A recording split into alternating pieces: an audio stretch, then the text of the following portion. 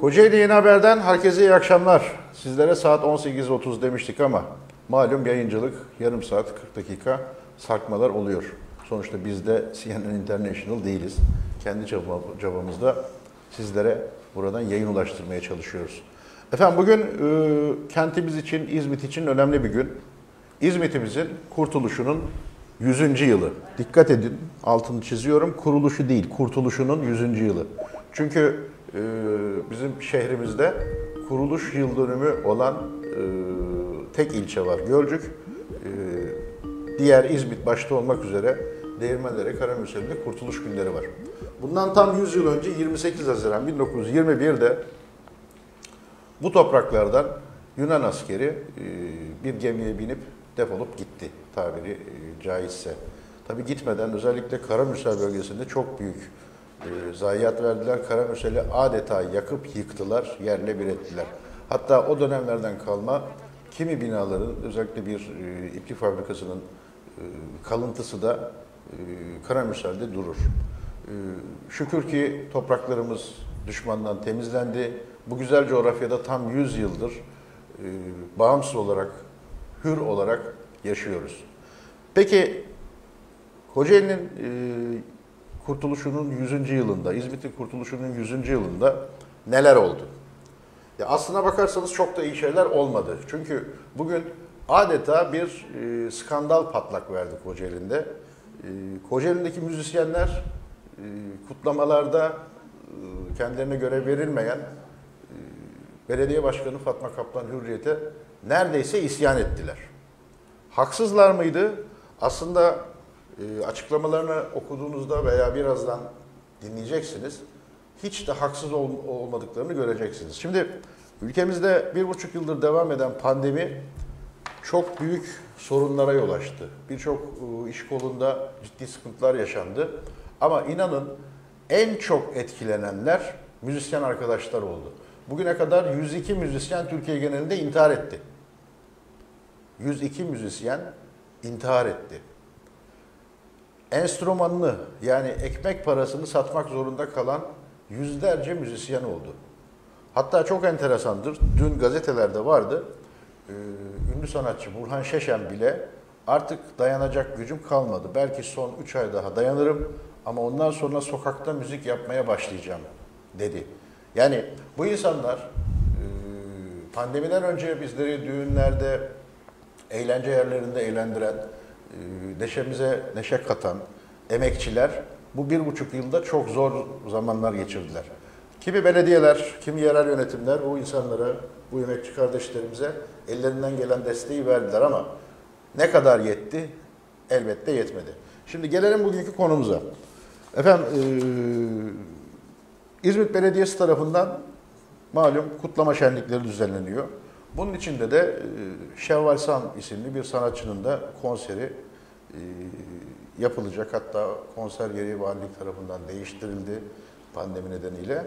E, bu nedenle Kocaeli Müzik Sanatçıları Derneği Başkanı Yetkin Kunter zehir zemberek bir açıklama yaptı. Diyor ki Yetkin Kunter açıklamasında bize şu üç günlük kurtuluş etkinliklerinde yer vermeyen Sayın Başkan sanki ihtiyaç sahibi kişilermiş gibi bu etkinlikte kuyumcu eşine ve kendi bandosunun elemanına iş veriyor. Tabii bu eleman akraba ilişkileri içerisinde olduğu için tercih sebebi oluyor. Kimi kandırıyorsunuz? Bizler çocuk değiliz. En acı olanı güya büyük sanatçı hayranlığı. Alt kadrolarda İzmit müzisyenine olanak sağlanmıyor. Şimdi efendim sistem şöyle yürüyor. Eğer İstanbul'dan ünlü bir sanatçıyı getiriyorsanız bu sanatçıya belli bir ücret veriyorsunuz. Ki bugünün paraları da 80-100 bin liradan aşağı hiç kimse buraya gelmez. Bununla yeterli değil tabii. Bunun sahnesi var, e, sesçisi var, e, efendime söyleyeyim arkasında çalan sazlar var. Yani toplama vurduğunuzda bu 200-300 bin liralık bir maliyete neden oluyor.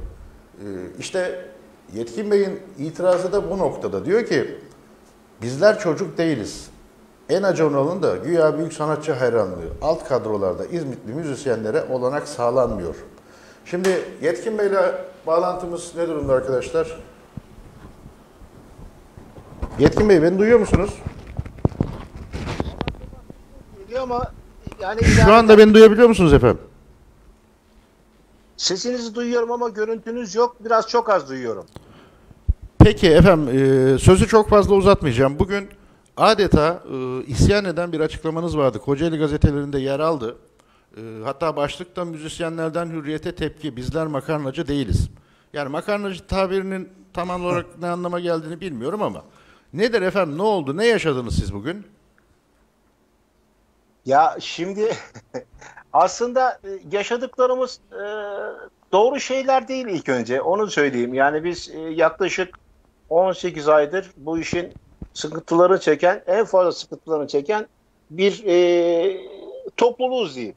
Yani Türkiye genelinde yaklaşık 412 bin müzisyenin e, olduğu e, kısa rakamlarla tespit edilmiş olup belki bu e, 600 veya 700 bin civarında olabileceği de tespit edildi. Şimdi e, malum haliniz bu şeyde e, Covid-19 e, olayında e, sıkıntıların en fazlasını yaşayan insanlar müzisyenler oldu. Bunun öncesinde zaten büyük sıkıntılar yaşıyorduk. Yani e, ne bileyim deprem oluyor, müzikler iptal. E, asker ölüyor, müzik iptal. Ne bileyim ülkede bir şey olduğu zaman ilk kapatılan kurum müzik.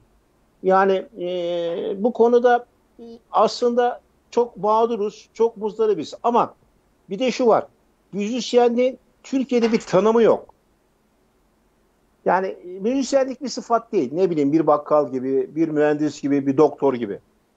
Burada biraz ilk önce iğneyi kendimize çuvaldızı tabii diğerlerine batıracağız. Müzisyenlerin mensubu olduğu bir oda e, yok değil mi efendim? Yok maalesef yok. O şuradan kaynaklanıyor. Çünkü e, benim de yaptığım hatalardan en büyük hatalardan bir tanesi buydu. Bütün şu andaki müzisyen kardeşlerimi de şu anda yaptıkları hatalardan en büyüğü bu. Ama biz federasyon olarak bunun önüne geçeceğimizi umuyorum. Millet e, Meclisi'ne böyle bir önergeyi vermeyi e, düşünüyoruz. Ya daha doğrusu bir milletvekili e, milletvekilimize bunu biz bildirdik. Şöyle anlatayım. Biz yani devlette ne sigorta ne de vergi veriyoruz. Biz sadece kazandığımızı günlük olarak alıyoruz. Yani biz günlük işçi olarak düşündüğümüzü. Ama bu doğru mu? Evet doğru değil. Peki e, bu konuda bize yardımcı olunabilir mi? Evet çok yardımcı olunabilir. E, biz e, bir sıfat sahibi olmamız lazım. Bir sıfat sahibi olduğumuz zaman sorun kalmayacak. Ama ülke öyle bir garip durumda ki biz kimsenin e, hatır kırılsın, kimsenin e, üzülmesini istemediğimiz sorunlar yaşıyoruz. Yaklaşık 102 arkadaşımız intihar etti bu konuda. E şimdi e, malum haliniz mutlaka bir diğer işle uğraşıp da müzisyenliği e, ek iş olarak yapan yaklaşık e, herhalde 200 veya 300 bin lira civarında arkadaşlarımız var. Ama bu demek değildir ki yani şimdi bu arkadaşlarımızın bir ev aldığını düşünün. Yaptığı ek işle bu evi ödediğini düşünelim. Kazandığı parayla da evin masraf tarttığını çıkarttığını düşünelim. Yani şu andaki Türkiye'deki durum bu. Evet. Yani bu durumun dışında bir de hiçbir işi olmayan, sadece müzik, müzikten hayatını idame ettiren e, yaklaşık 250-300 bin civarında müzisyen kardeşlerimiz var. Efendim bir de bunların ailelerini saydığınız zaman yani çok büyük bir meblağ yapıyor. Evet. Tabii ki yani e, şimdi bu meblağ düşündüğümüzde e, tamam e, devlet bize devlet daha doğrusu arkadaşlarımıza biner liralık bir yardım yaptı. İşte daha sonrasında bir 3 bin lira dedi Sayın Cumhurbaşkanı. E, Sayın Ticaret Bakanı bu işe olmaz dedi. Sonra e, şey Kültür Bakanı'nın devreye girmesiyle tekrar anlaşıldı falan filan. Şimdi şu var. Yani taşıma suyla değirmen dönüyor şu anda. Evet. Ve bunun karşılığında bunun karşılığında Temmuz 1 itibariyle e, saat 12'ye kadar e, işte e, müzik saatleri uzatıldı. Ve bugün aldığım haberde de e, Ankara Barosu'nun Yargıtay'a bir müracaatı var. E, müzik susturulamaz diye bir e, şey olarak e, e, önerge olarak verdiklerini duydum. Saat 24'te müziğin susturulması ile ilgili değil mi efendim? Tabii tabii tabii. Yani e, müzik e, insanların şeyine e, yayın organına giriliyor diye bir müracaatta bulunduklarını biliyorum. Bakın şimdi bizim kimseden bir icazet istediğimiz yok.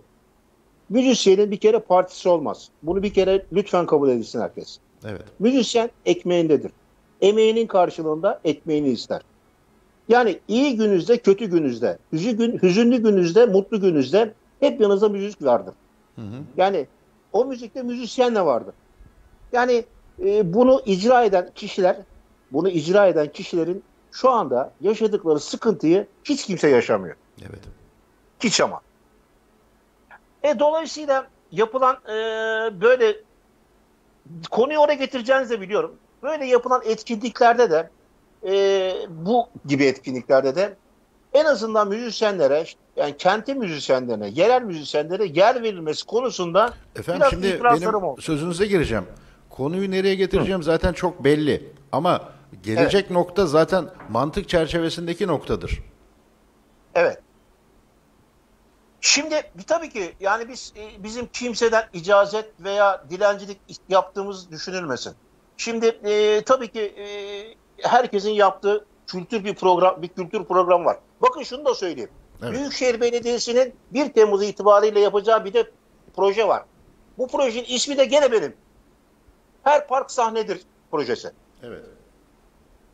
Yani şimdi ben burada kimseyi kınamak, kimseyi yermek istemiyorum. Ben sadece müzisyenlere yeteri kadar bu konuda e, bir şey yardım edilmediğini düşünüyorum.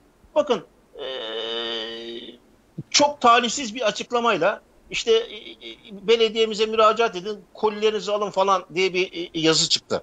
Yani bilmiyorum hepiniz okumuşsunuzdur. Evet. Yani bu bana göre çok aşağılayıcı bir durum. Çok onur kırıcı bir durum. Yani biz sanki dilenciyiz, milletten koli istiyoruz. Biz o yüzden e, bu kelimem kullanıldı. Yani biz makarnacı değiliz diye. Yani şimdi öyle bir şey ki biz kimseden koli istemiyoruz. Biz iş istiyoruz. İşimizin, emeğimizin karşılığını istiyoruz. Bize yani hepinizin düğünleri, dernekleri oldu. Siz hiç yani e, bu konuda müzisyenize paranızı sonra veririz, gelin sonra yapalım dediğiniz oldu mu? Böyle bir şey olduğunu zannetmiyorum. Evet. Ama bizim bizim İzmit'te bizim İzmit'te maalesef bazı e, yaşadıklarımız, yaşadığımız sıkıntılar yani onu anlatayım.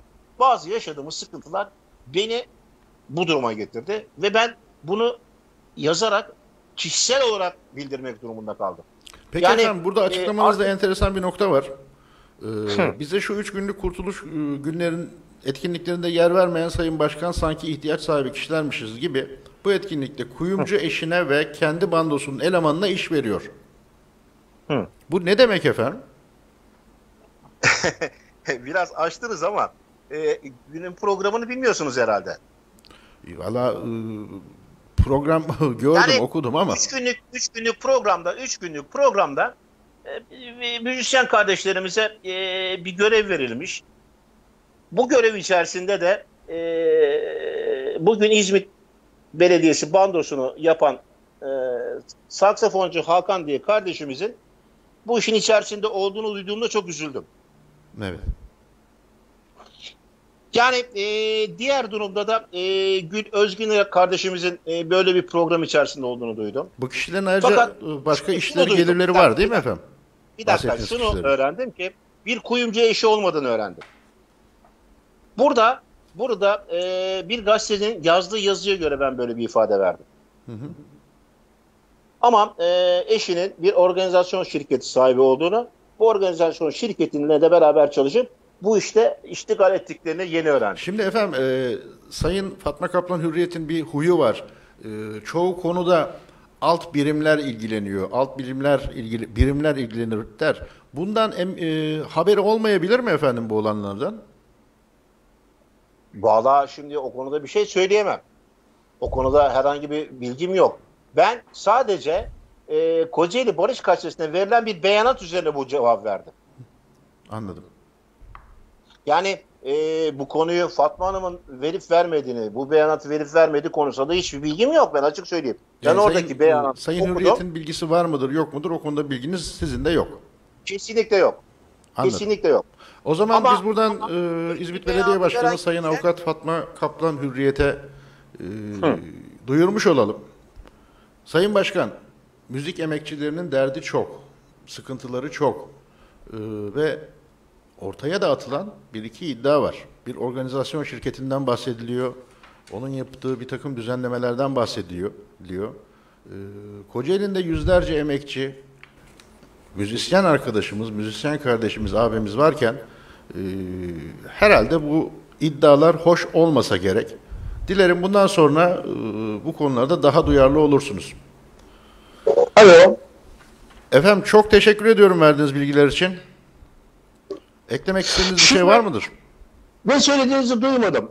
Ama tekrar ederseniz çok sevinirim. Efendim şunu söyledim. Ee, sizin aracılığınızla eğer Sayın Belediye Başkanı Fatma Kaplan Hürriyet'in bilgisi yoksa sizin aracılığınızla artık bilgisi olmuştur.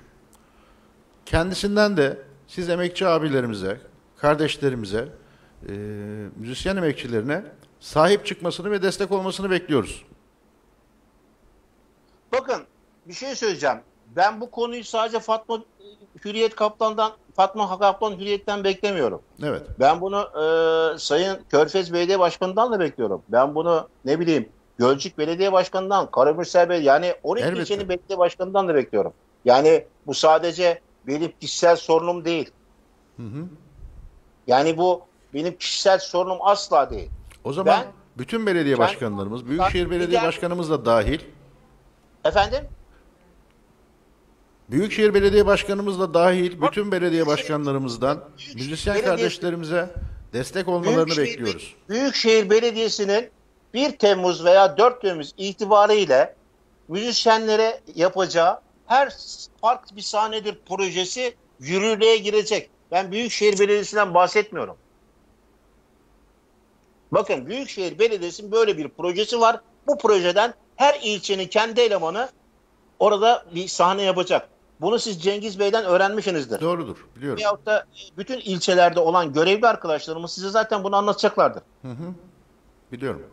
Yani bizim e, şimdi şimdi bunu büyükşehir işte e, ilçe belediyesi falan diye ayırmamız. Ben sadece ve sadece ilçe belediyelerimizin de bu etkinliklerden yapmasını yani ne bileyim bu etkinlikler sadece şey değil yani bir proje değil başka bir etkinlik de olabilir. Ve burada müzisyen kardeşlerimize bir, biraz e, yardım etmelerini istiyorum. Bir emek karşılığında da bir miktar para mı artık ne artık gönüllerinden ne kopuyorsa bunu yapmalarını, bunu yaptıklarında da o arkadaşlarımız makarna yerine domates, biber almasını tavsiye ediyorum. Başka bir şey düşündüğüm yok benim. Ben sadece benim yanımda, benim bağlı bulunduğum dernekteki arkadaşlarım menfaatlerini düşünmekle yükümlüyüm. Anladım. Efendim katıldığınız için çok teşekkür ediyorum. Ben teşekkür ederim. Ben teşekkür ederim. Sağ olun. İyi akşamlar diliyorum. Hoşçakalınız. İyi akşamlar. Evet, başta da söylediğimiz gibi müzisyen arkadaşlarımızın işi gerçekten zor. Hele bu son bir buçuk yılda e, bizzat bizim de şahit olduğumuz arkadaşlarımız oldu. E, çok zor günler geçirdiler. Ha belediyelerin büyük çoğunluğu karınca kararınca bir şeyler yaptılar. E, Gölcük Belediyesi onlar için seyircisiz bir konser bile düzenledi. E, Maddi yardımda, maddi destekte bunu da bilmek için. Yetiyor mu? Yetmiyor. Ama hiç olmazsa bu şekildeki e, büyük organizasyonlarda bu arkadaşlarımıza yer verilmesi gerekiyor. Ne diyorsun Hayrullah Demirel? Şimdi e, gerçekten şöyle söyleyeyim. Öncelikle İzmit'in kurtuluşunun 100. yılında tüm e, şehitlerimizi rahmet ve minnetle anıyor. Gazilerimize de selam ve sevgilerimizi gönderiyoruz. Başta Gazi Mustafa Kemal Atatürk olmak üzere bütün silah arkadaşlarını da saygıyla bir kez daha rahmet ve minnetle yad ediyoruz buradan. Ee, öncelikle onu ifade ettikten sonra ben hayretler içerisinde haberi de okuduğumuz zaman, e, siz de bahsettiğiniz zaman ve e, konuğumuzda e, anlattığında, açıklamasında şunu görüyoruz ki ben gerçekten söylüyorum.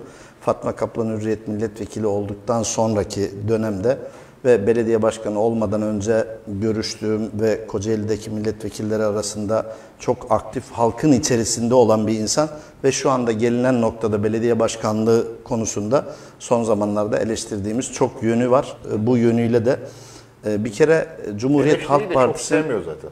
eleştiriyi de çok sevmiyor belki ama şunu öncelikle ifade etmemiz lazım. Ben her zaman söylüyorum bu tür durumlarda hep rahmetli Kemal Sunal'ın e, Koltuk Belası filmi var.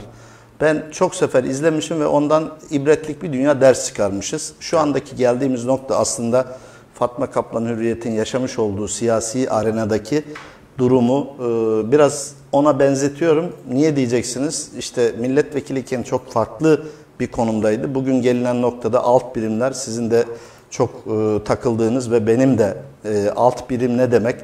Biz çünkü yıllardır hem organizasyon konusunda hem de gazetecilik ve medya konusunda yaklaşık olarak e, siz kadar eski olmasa bile e, yaklaşık şöyle söyleyeyim 93 yılından beri ben de bu e, işin içerisindeyim.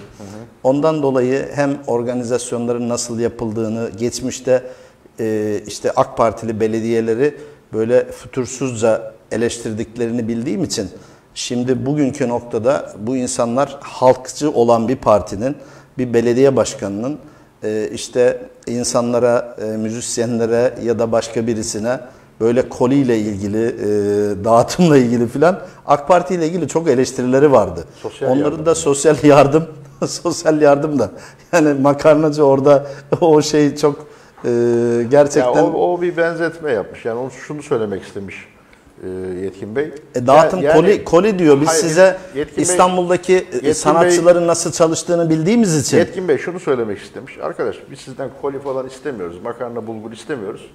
Ee, Siz bize iş verin. Aynen öyle. Yövmeyemizi, paramızı verin. Biz kendi makarnamızı alırız. Demek istediği o. Peki şimdi güzel bir benzetme ama tebrik ediyorum. Ee, özellikle böyle Şimdi enteresan bir nokta var.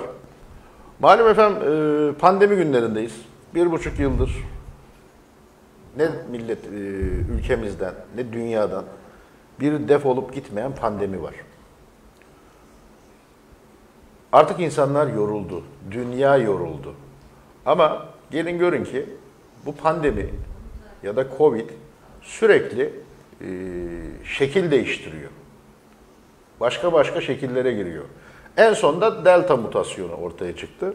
Hatta çok uzağımızda değil, bizim burada Düzce'de de geçtiğimiz günlerde 18 kişi delta e, mutasyonu görülmüş ve bu kişiler karantinaya alınmış.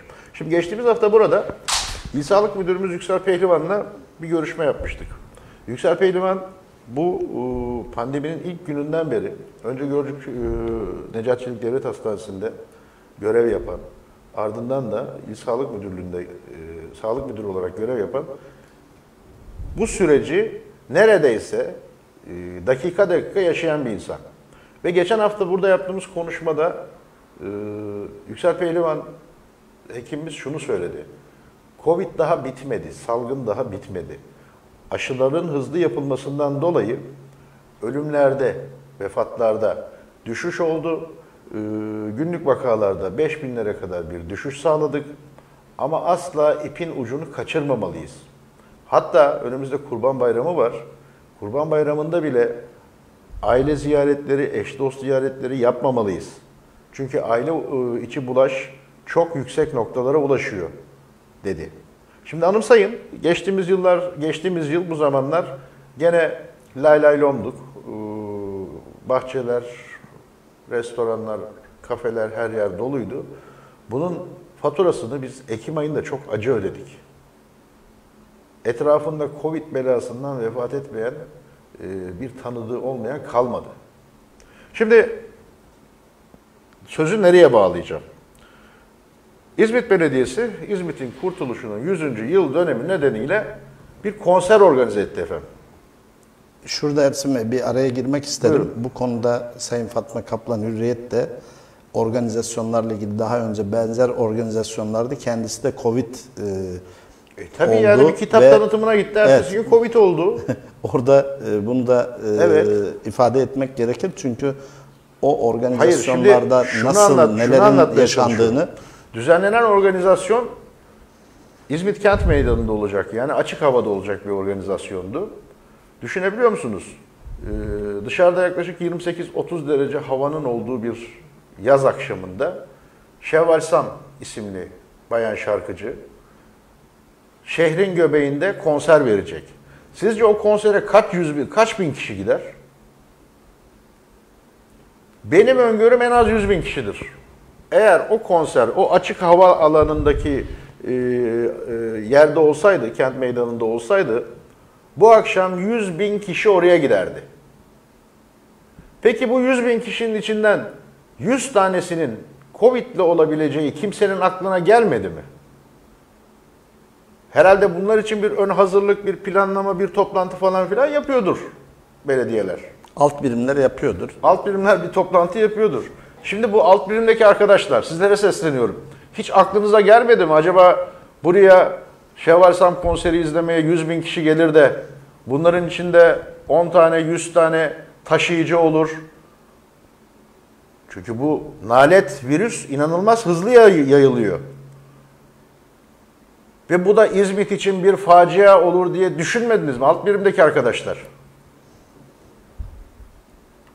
Pandemi döneminde kent meydanında açık hava konseri yap, yapmak e, hakikaten yani e, kime söylerseniz dünyada gülerler adama ya. Allah'tan Kocaeli Valiliği işe el attı da bir dakika durun dedi. O konseri iptal de etmedi. Başka bir alanda arabalı konser şekline çevirdiler. Yani e, giden vatandaş arabasından inmeyecek, arabasının içinde çekirdeğini alacak vesaire konserini izleyecek. Ha böylece sosyal mesafe e, korunacak. Hiç olmazsa Covid'in bulaşımı önlenecek.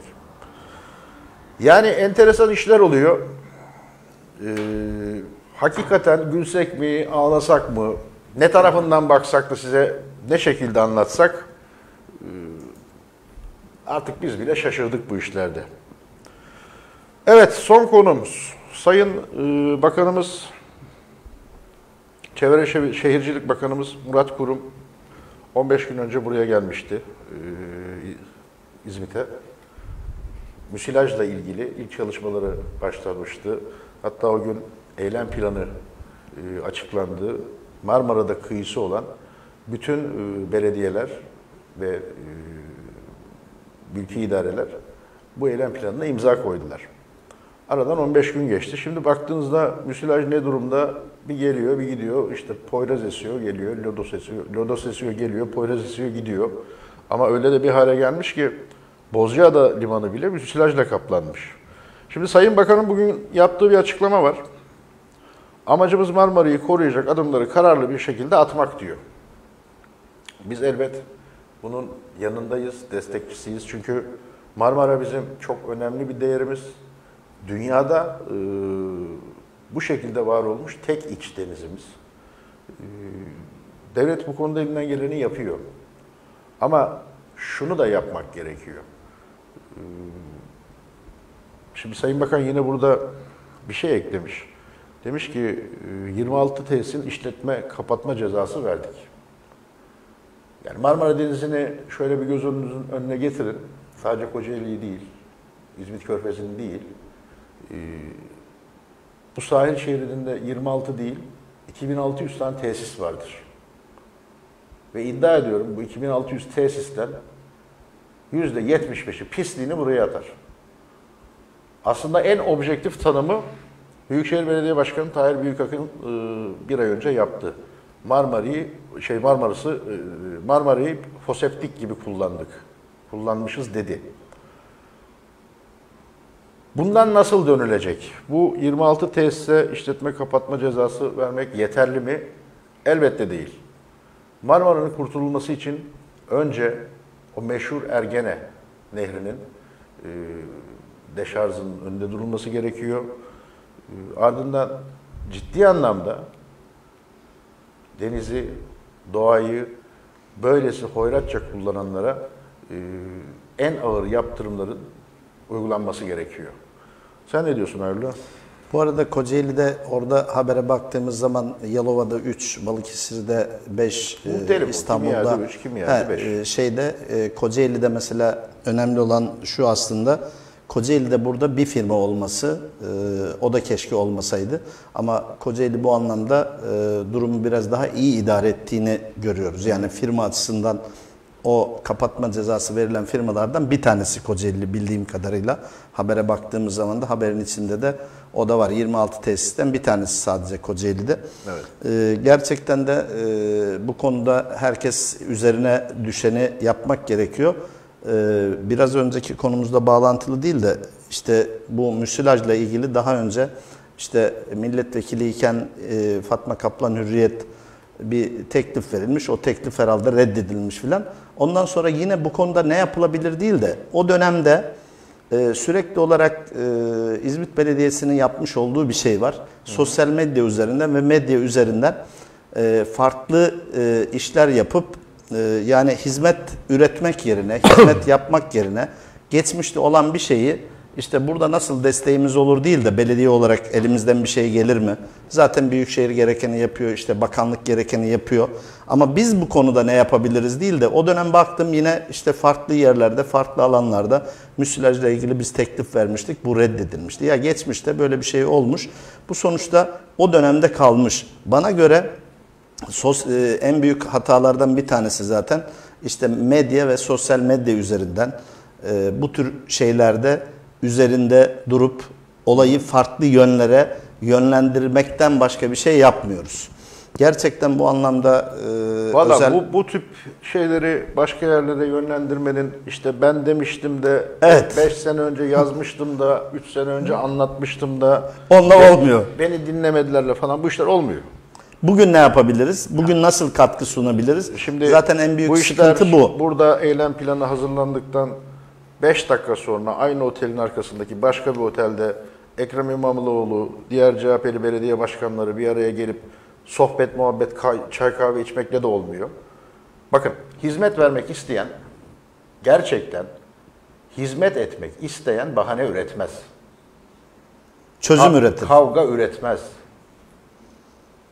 Çözüm önerisi sunar. Uzlaşmalı. İnsanlar uzlaşmalı. Bu A partisi, B partisi, C partisi değil. Madem bu kentin geleceğiyle ilgili ciddi bir takım problemler var ve bunun acil çözülmesi gerekiyor. İşte o öyle oldu da bu böyle oldu da o iktidar da bu bu değil. Bakın vatandaş bunlardan bıktı artık. İnanın bahane dinlemekten de bıktı, kavgadan da bıktı. Sizlerin bir an önce uzlaşmanız gerekiyor. Sizlerin bir an önce bir masanın etrafında toplanıp e, doğru hedeflere doğru yürümeniz gerekiyor. Sizler yerel politikayı bıraktınız, yerel hizmeti bıraktınız. Ulusal politikalarla, ulusal e, sorunlarla vesairelerle falan uğraşıyorsunuz. Sanıyor musunuz ki sokaktaki insan bundan çok memnun? Çıkın biraz dolaşın. Neyse. Ben İzmit'te dolaşıyorum. Ee, şunu da özellikle söyleyeyim. İzmit'in İstanbul'la ilgili yapılan çalışmayla ilgili CHP'li olan arkadaşlar bile e, biz böyle düşünmemiştik. Gerçekten e, biz oy verirken işte farklı partilerden ve özellikle CHP'nin içindeki bazı isimler de bu İstanbul'la olan bağlantıdan şikayetçi. Onu da özellikle e, vurgulamak isterim. Çünkü ee, İzmit artık bırakılmış. İzmit'le uğraşılmıyor.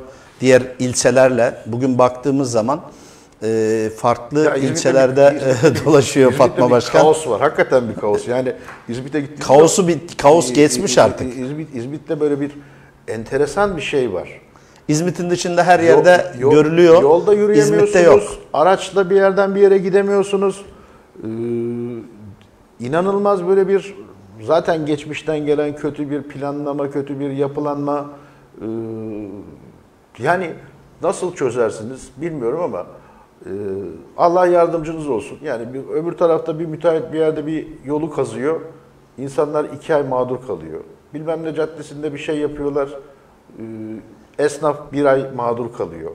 Bakın bunlar hep sizin hanenize eksi olarak yazıyor. Şunun şurasında seçime iki buçuk seneniz var. Son bir yılınızı saymayın. Bir buçuk yılınız var. Bence bundan sonra her yerel yönetici o bir buçuk yılı düşünüp planlayarak hareket etmeli. Gerçekten. Neyse, geçtiğimiz hafta Kemal Kılıçdaroğlu Kocaeli'ndeydi. Gebze'ye geldi, Herike'ye geldi. Oradan vapurla Karamürsel'e geçti. Karamürsel'de bir toplantı yaptı muhtarlarla birlikte. Toplam 22 muhtar davet edilmiş. Ee, sosyal medyaya baktığımızda Karamürsel CHP'de adeta bir isyan var. Sebebi şu, kürsüye çıkan Kemal e, Kılıçdaroğlu Karamürsel ile ilgili tek kelime etmemiş. Ya da Karamürsel örgütüyle ilgili. Ee, CHP'nin orada öyle bir problemi var. Ee, Beral Akşener ayın e, birinde 1 Temmuz Perşembe günü geliyor.